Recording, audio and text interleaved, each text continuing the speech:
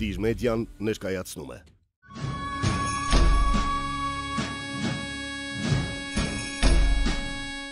Բարև ձեզ, սիրելի դիտողներ, այսօր Տիժ մեդիայի հիմք հաղորդման հերթական թողարկումն է։ Հիմք հաղորդման մեր հյուրն է Պետո Սեֆիլյանը։ Ողջույն Պետո ջան։ Ողջույն, ողջույն։ Շնորհակալ եմ, որ ժամանակ ես գտել հյուրընկալվել Տիժ մեդիային։ Ես էլ եմ շատ ուրախ, որ առաջին արտադրույցը որ ստեղ պաշտոնական ստեղ եմ տալիս։ Շատ լավ։ Պետո ջան, մի փոքր ներկայացնենք, լավ, դու ինչ զբաղվածություն ունես հիմա, այսինքն ինչ մասնագիտական ուղղվածությամբ ես աշխատում։ Մասնագիտությամբ արդեն 7 տարի է զբաղվում եմ ծրագրավորող եմ։ Պետական համալսարանն եք, չէ՞, ավարտել։ Հա, ավարտել եմ պետական համալսարանի կիրառական մաթեմատիկայի ֆակուլտետը։ Հետո անցել եմ աշխատանքի ծրագրավորող որպես առաջին 6 ամիսը, այսինքն սկզբնական վիդեո մոնտաժով եմ զբաղվել սեփական ձեռնարկությունում առանձին հետո ընդունվել եմ աշխատանքի Vivassel MTS-ում որպես ծրագրավորող եւ միջև հիմա հանդիսանում եմ Vivassel MTS-ի աշխատող նաեւ ընթացքում տարբեր պրոյեկտների եմ մասնակցել ծրագրավորման եւ բավականին հաջողակ պրոյեկտներ են ստացվել շատ չպատմեմ դրանց մասին, չեմ կարծում թե այդ կետաքրքրի մարդկանց։ Ու մի նախադասությամբ եթե ամփոփենք, քո զբաղվածությունը կապված է տեղեկատվական տեխնոլոգիաների IT հա, ոլորտի հետ։ IT ոլորտի աշխատող եմ ու արդեն մոտավորապես 7 տարի է ուրիշ գործունեությամբ չեմ զբաղվել։ Ու հետաքրքրություն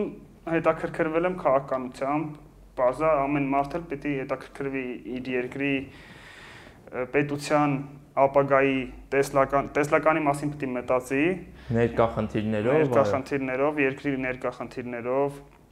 ինչպես նաև այսինքն սովորական մարդ քաղաքացիական պարտք որպես այդպես կարելի կարող ներկայացնեմ հետաքրքրվել եմ քաղաքականությամբ բայց չեմ զբաղվել որպես այդպեսին քաղաքականությամբ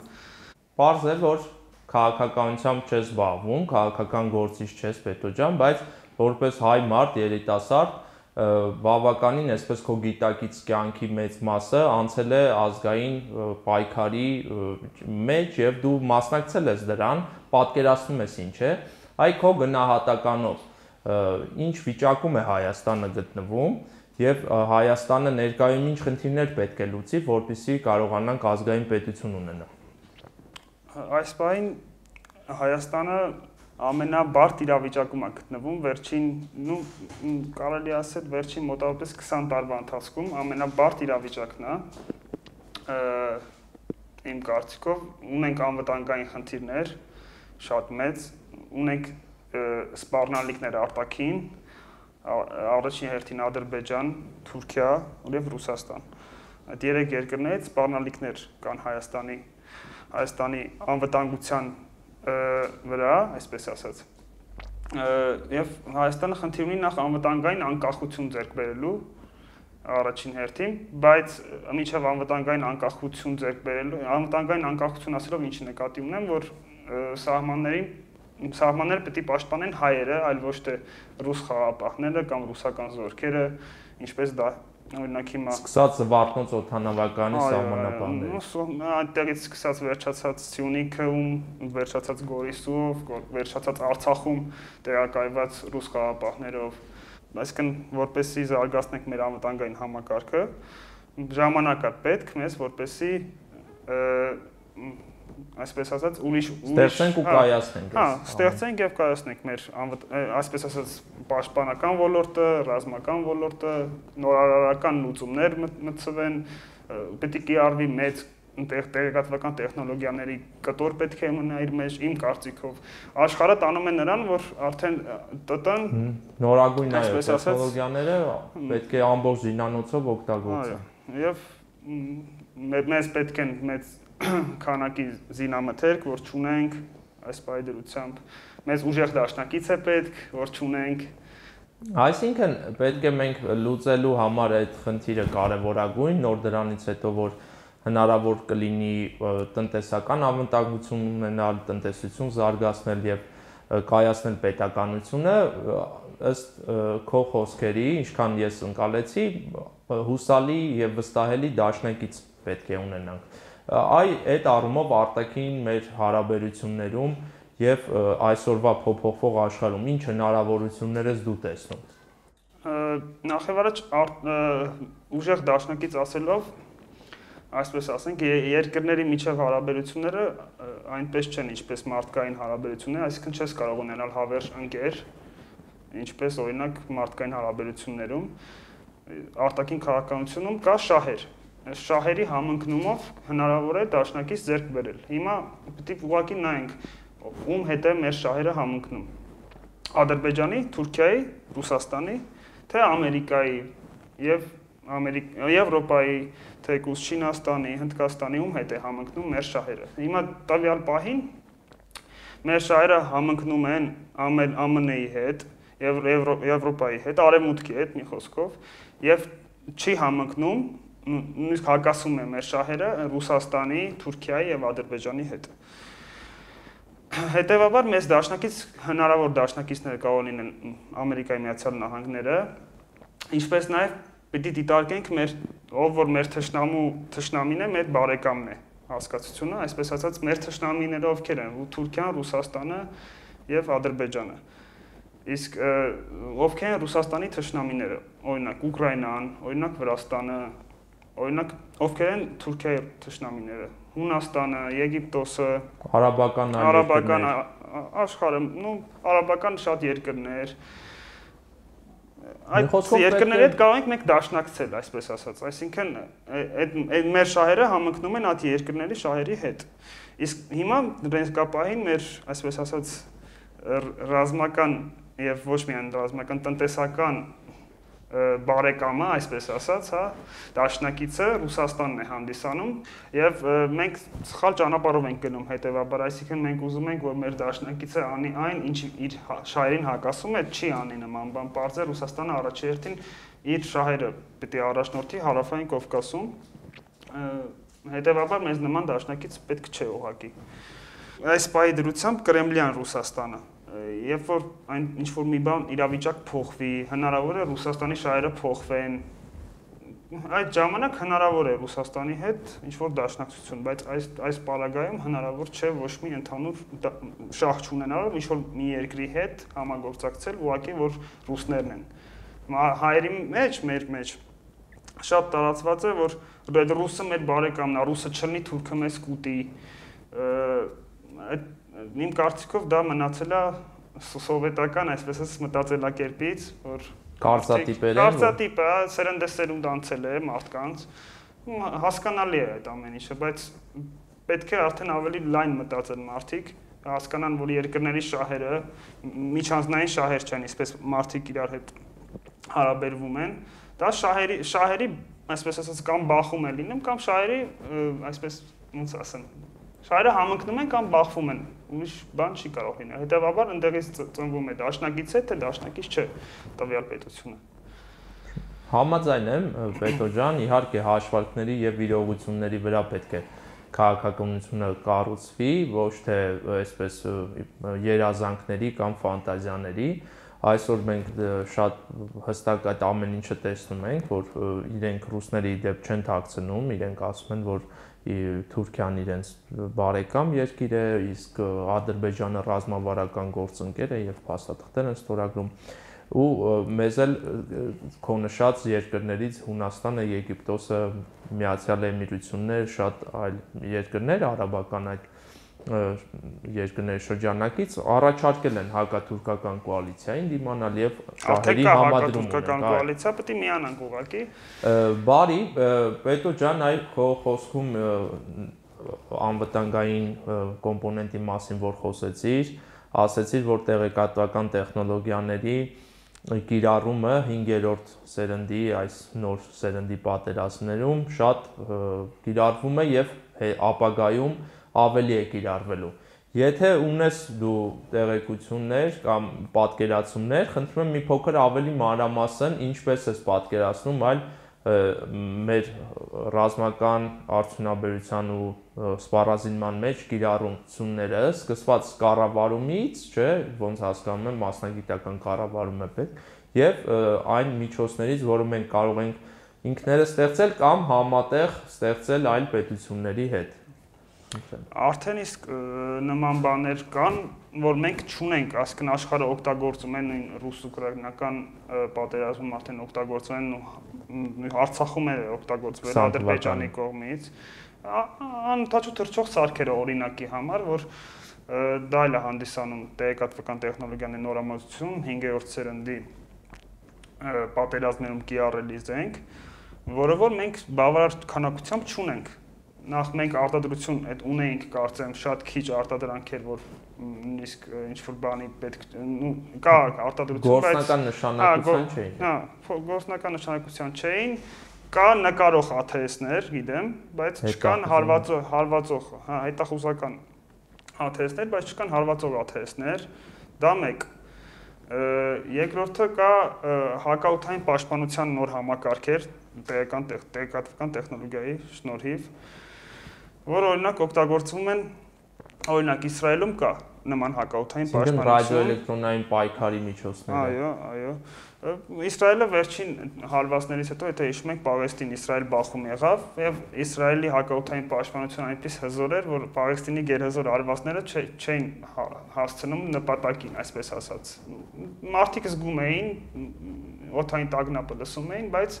հարվածը նպատակին չէր հասնում, հա, երկաթե գմբեթը աշխատում է, իրենց հակաօթային պաշտպանությունը հենց այդպես էլ կոչում են։ Այդ համակարգերը պետք է ներդրվի այնուհետև իմ իմ կարծիքով այնքան բան կա աշխարհում, որ մենք չենք օգտագործում, Հայ, Հայաստանում չկա այդ զենքերից, որ ուղղակի այսպես ասած copy paste անելը թեկուս copy paste եթե անես, այդ զենքերը Հայաստանում ունենաս, դա լիարժեք բավական է անվտանգային անկախություն ձեռք բերելու եւ գերհզոր համակարգ ունենալու համար։ Իսկ օրինակ կան երկրներ, որ դու պատկերացնում ես իրենց հետ ավելի հեշտ կլինի համագործակցել եւ համատեղ այդպիսի մեթոդներով սպառազինել կամ ասենք զարգացնել, որ հետո ռազմական արդյունաբերությունը վերցնի եւ դնի ավելի massայական արտադրության։ Իհարկե կան այդպիսի երկրներ, մեկ օրինակ կբերեմ, միայն Ամերիկայից Ամերիկայի Միացյալ Նահանգները օրինակի համար Հիմա ինչպես տեսնում ենք, մեծ քանակի ռազմամթերք է, ռազմական աջակցություն է ցուցաբերում Ուկրաինային, այո, ամեն ինչով, նույնիսկ մասնագետներ էին ուղարկում այնտեղ, որպեսզի ուկրաինացի զինվորներին վարժանքների ընդհանուր, հա, վարժանքների մասնակցեն ուկրաինացի զինվորները, ուսումնասիրեն զենքերը, նոր տեխնոլոգիաները, որպեսզի կարողանան օգտագործել։ Օրինակ, օրինակ, որ հիմա ասում են որտեղ էր ԱՄՆ-ն, երբ որ մենք պատերազմում էինք Ադրբեջանի դեմ։ Նախ ԱՄՆ-ն մեզ չէր օգնելու բարձ պատճառով, որտեղ մենք հանդիսանում ենք նրա թշնամու դաշնակիցը Թողնենք որևէ պայմանագիր, որ պահանջեն, չէ՞։ Մենք չենք կարող ԱՄՆ-ից որևէ բան պահանջել, բայց Ռուսաստանից կարող ենք բան պահանջել պատերազմի ընթացքում։ Հիմա ասում են, ինչու ԱՄՆ-ն չի օգնել մեզ։ Նախ ԱՄՆ-ն որպես այդպեսին ես լսել եմ, որ ռազմական աջակցության առաջարկ արել է Հայաստանի Հանրապետության վարչապետին առաջարկել, ինչպես այո։ Նիկոլ Փաշինյանը հրաժարվել է, չի օգտագործել այդ հնարավորությունը եւ պատերազմից առաջ է եղել եւ պատերազմի ընթացքում Մակրոնն էլ է առաջարկել Ֆրանսիայի նախագահը եւ նորից Նիկոլ Փաշինյանը հրաժարվել է Պարզե Պուտինի թելադրանքով Միացյալ Նահանգների դեսպան Լինթրեյսին է բացատրել է, որ քանի որ դուք հապկանթամ երկիր եք, դա սահմանափակումներ եւ խոչընդոտներ է առաջացնում եւ նորմալ է, չէ՞, եթե օրինակ մի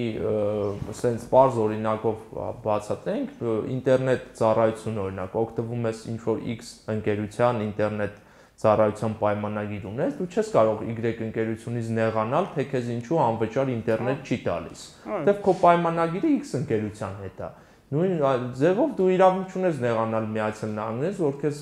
անվճար կամ չեկավ խնդրես, դու գնացել ես։ Մարդկային փոխհարաբերություններն էլ այդպես իրականում հասկանում են, երբ որ ասում եմ օրինակ քո ինտերնետ պրովայդերը կամ բջջային հեռախոսի տես ինչ ընկերությունն է ու ռոպեներ քեզ մյուս ընկերությունը հենց նես չի տալու, չէ՞։ Բա ինչու ես դու Ամերիկայից կամ ՆԱՏՕ-ից ակնկալում։ Չնայած որ Հունաստանի արտաքին գործերի նախարարը Արցախյան պատերազմի ժամանակ եկավ Երևան եւ առաջարկեց, հա, իսկ այսօր մենք տեսել ենք Հունաստանը ինչ մեծ նշանակություն ունեցող ՆԱՏՕ անդամ երկիր է եւ շատ իդեպ նորագույն ռազմական տեխնոլոգիաներ եւ զինատեսակներ տրամադրվել են Հունաստանին, Թուրքիայի փոխարեն եւ վերջին տարիներին Իզմիր քաղաքից թուրքական հատուկ մեր դիտողների համար եմ ասում ՆԱՏՕ-ի գրասենյակը տեղափոխվել է Հունաստան, այլևս Թուրքիայում չէ։ Այս որ իմանամ որ Դե այդ օրինակն էլ կարող ենք բերել, օրինակ Հունաստանն էլ Թուրքիան հանդիսանում են ՆԱՏՕ անդամ, բայց ԱՄՆ-ն տեսեք թե ինչպես է զինում Հունաստանին, որ զսպում է այդ արարքով Թուրքիայի Թուրքիայի ախորժակն է զսպում։ Եթե չզիներ օրինակ այդքան այդ այդ քանակի ռազմամթերքով կարող էր Թուրքիան օրինակ վաղամիսօր ինչպես Ռուսաստանը հարձակվեց Ուկրաինայի վրա, Այո, այս օրերին մենք տեսնում Ֆինլանդիա եւ Շվեդիա օրինակով, ինչպես է Թուրքիան փորձում խոչընդոտել եւ այն որ Թուրքիան այսպես արևմուտքից է ԱՄՆ-ի աչթևն է կամ չգիտեմ եղբայր պետությունն է, դա լրիվ սին ցնդաբանություններ են, շատ կոնկրետ հարցերում, շատ կոնկրետ հաշվարկների հիման վրա է բոլոր երկրների քաղաքականությունը Տվյալ դեպքում էլ կա ռուս-թուրքական շահ։ Եվ չի կարելի հեքիաթների եւ հորինված պատմությունների մակարդակում քննարկել։ Լավ, Պետո ջան, այս բաժնում սահմանափակվենք, հիմա գանք մեր ներքին խնդիրներին։ Տեսնում ենք այս մեր օրերին ներկա, որ ինչ որ նախկինում իշխանության եղած, այսպես ծախողած պետությունը այս վիճակին հարցրած ուժեր այսօրվա իրենց շարունակություն իշխանության հետ, այսպես իրեր զուգորդելով պայքար են իբր մղում, ուզում են մեկը մյուսից իշխանություն վերցնի, տեղափոխություններ անի, այ ինչպես որպես ավելի փորձառու երիտասարդ դու խորհուրդ կտայր ու այս վիճակը կգնահատեիր ու խորհուրդ կտայր որ մյուսները ճիշտ կողմնորոշվեին իրականում որ սա ազնիվ պայքար է թե կեղծ մարդիկ կարողանան տարբերել տվյալ պայն փողոց որ ընթանում է փողոցային պայքարը, քանի որ այնտեղ կան նախ նախքին բարձրաստիճան պաշտոնյաներ, շատ կարկառուն եւ այսպես ասած վատ հիշվող անձինք, ժողովրդի վատ համբավ ունեցող անձինք, քանի դեռ այնտեղ են, իրենք երբեք հաջողության չեն հասնելու, ինչքան էլ Նիկոլո հանձնի թեկուս Սյունիքը հանձնի, թեկուս Գյումրին հանձնի, իրենք հաջողության չեն հասնելու, որովհետև ժողովուրդը տեսնում է ովքեր են պայքարում՝ Ռոբերտ Քոչարյան, Սերժ Սարգսյան, Լևոն Երանոսյան, Վալերի Ոսիպյան, Արթուր Վանեցյան, այդ մարդկանց ժողովուրդը չի ընդունում, չի ընկալում որպես նախնդիմություն, քանի որ այսպես ասած իրենց տարիները վերապրել վերհիշելով հիշում են, որ Այս համակարգի ծնողն ու Նիկոլ Փաշինյանն ինքը Սերժ Սարգսյանի իրավական հա, իրավահաջորդն է, այսպես ասած։ Այսինքն Նիկոլ Փաշինյանը, քանի որ ոչ լուստրացիա արեց, ոչ անցումային արդարադատություն կիարեց, այս մարդիկ դարձան ընդդիմություն իրենց ֆինանսական հնարավորությունների շնորհիվ։ Հիմա այս այս նախկինները, այսպես ասած, իդեպ ներկաները նախկինների նորից կրկնում եմ, իրավահաջորդն են հանդիսանում, նախկինները չեն կարող որևէցե փոփոխություն բերել Հայաստանի, այսինքն եթե նույնիսկ գան իշխանության իրենք, նորից նույն ավելի բիրտ ձևով թալանը շարունակվելու է, ավելի լկտի ձևով թալանելու են Հայաստանը, ավելի հնազանդ կատարելու են Ռուսաստանի հրամանները Կրեմլից իջեցած հրահանգները եւ ես օրինակ շատ ընկերներ շատ ընկերներ չէ ընկերներ ունեմ ովքեր որ մասնակցում են կամ հույս ունեն այս շարժման հետ կապված ես իրենց էլ եմ ասել մի հատ էլ հրաապարակային կասեմ ուղղակի ինչքան հնարավոր է շուտ հեռացեք այդ շարժմից այնուհետև թե չէ շատ շատ մեծ հիաստապություն եք ապրելու դուք էլ եք գիտակցում, նամանավանդ այդ մարդիկ գիտակցում են, որ Սերժ Սարգսյանը կամ Ռոբերտ Քոչարյանն լինելով հրաապարակում, հենց իրենք են ուշ տալիս Նիկոլ Փաշինյանին։ Հենց որ այդ նախքին նախքին պաշտոնյաները, նախքին ուժերը հեռանան քաղաքականությունից, Նիկոլ Փաշինյանին հեռացնելը 10 օրվա խնդիր է։ 10 օրվա խնդիր է, այսինքն եթե ժողովուրդը տեսնի, որ սրանց այլընտրանքը Սերժը կամ Քոչարյանը չեն, իրենք դուրս կգան փողոց եւ կհեռացնեն Նիկոլ Փաշինյանին։ Այսինքն պետք է երրորդ ուժ այստեղ։ Երբ որ տեսնի ժողովուրդը, որ այդ երրորդ ուժն է միայն եւ չկա Քոչարյան եւ Սարգսյան, եթե Ռոբերտ Քոչարյանն ու Սերժ Սարգսյանը իրոք ցանկանում են, որ ինչ որ բան փոխվի երկրում, լավ բան փոխվի, դեպի լավը գնա, իրենք պետք է հեռանան քաղաքականությունից եւ թողնեն դաշտը իրական այս ընդդիմությանը, ովքեր որ կարող են երկիրը այս ճահիճից դուրս բերել։ Այդքան բան։ Շատ լավ, Պետո ջան, մի հետարքիր հարցել էս առիթով, տեսեք, իրենք Արցախի այսպես դրոշը, որը որ հայկական երագույն դրոշի ինչ որ աղջատված տարբերակն է, ամեն տեղ ծածանում են, բայց այս այսօր աշկովս լրահոսում ընկավ մի երիտասարդ վարորդ, ասում էր, որ այ այդքան որ պայքարում եք Արցախի համար, կարող եք որևէ մեկը գնալ եւ Պուտինին ասել, որ Արցախը Հայաստան է, շատ հետաքրքիր դիտարկում էր, որովհետեւ հենց Պուտինն է գիտենք, որ անընդհատ մանտրայի պես կրկնում է, որ Արցախը դա Ադրբեջանի անբաժանելի մաս է, չէ՞, ու իրոք եթե աշխարհում մեկը կա, որ Արցախ ուզում է Հայաստանից օտարի, դե Փաշինյանից էլ առաջ, հա, չնայած այստեղ Փաշինյանին չենք ուզում որևէ կերպ արդարացնենք, դա Պուտինն է երևի ու կրեմլյան համակարգը։ Ու շատ ճիշտ հարցադրում է, այնպես որ գուցե մեր ժողովուրդը այ այս ճիշտ կողմնորոշվելու համար, որ կեղծ է թե ազնիվ, այ հենց շատ լավ խնդիր դնի, այ կարողանում եք Կրեմլին ասեք, որ Արցախը Հայաստան է, ոչ թե եկել եք Երևանում մեզ ուզում եք ինչ որ բան ապացուցել։ Իրենք միայն մի բան կարող են ասել Կրեմլին, կարող են ասել Արցախը երբեք չի լինելու Ադրբեջանի կազմում։ Բաղում կազմում է լինելու, չեն ասում։ Նույն Սերժ Սարգսյանը ասում։ Օրինակ կարող է Աբխազիայի պես։ Հա, օրինակ կարող է լինել Ռուսաստանի կազմում ինչի չեք ասում, այսինքն Արցախը պիտի լինի միայն Հայաստանի կազմում, ուրիշ ոչ մի երկրի կազմում չի կարող լինի, հա։ Հա, ես էլ կարող եմ ասել, որ Սյունիքը երբեք չի լինելու Ադրբեջանի կազմում, եթե Նիկոլը մնա, բայց ասենք վաղ միսօր կարող է Ռուսաստանի կազմում լինի։ Դա չի նշանակում, որ Հայաստանի կազմում է մնալու, եթե Նիկոլը մնա։ Պետո ջան, հաճախ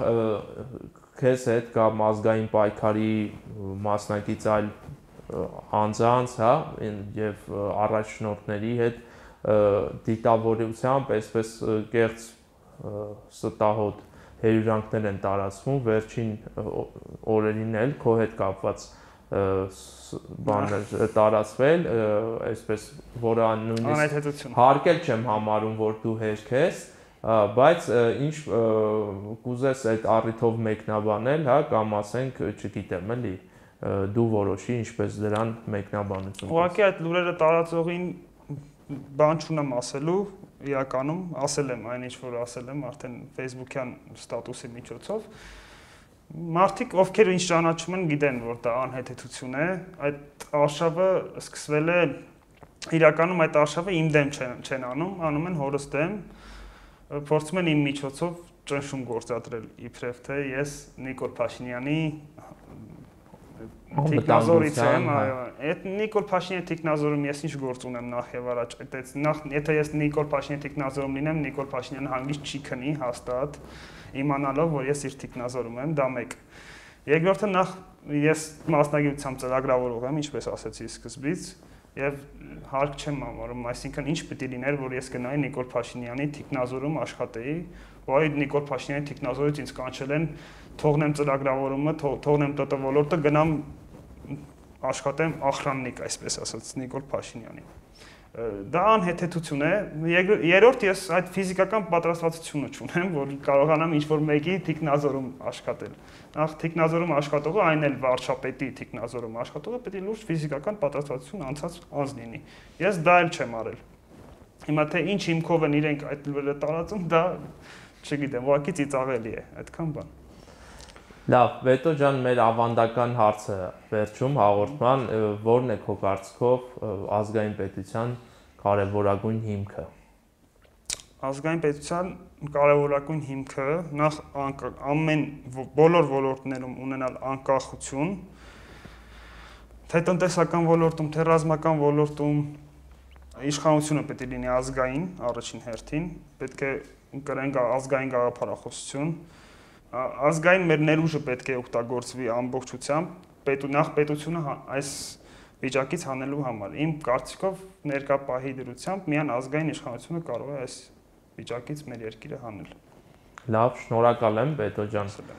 այս հարցազրույցի համար։ Սիրելի դիտողներ, հիշեցնեմ, հիմք հաղորդման հյուրն էր Պետո Սեֆիլյանը, կհանդիպենք հաջորդ հաղորդման ժամանակ։